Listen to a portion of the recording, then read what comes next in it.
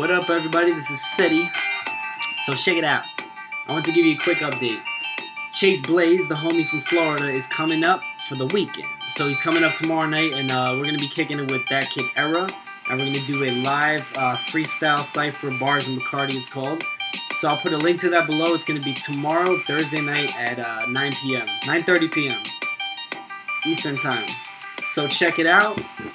Come through, check out the channel. I'll be posting it there. And check out that Kid Era. Check out uh, Chase Blaze.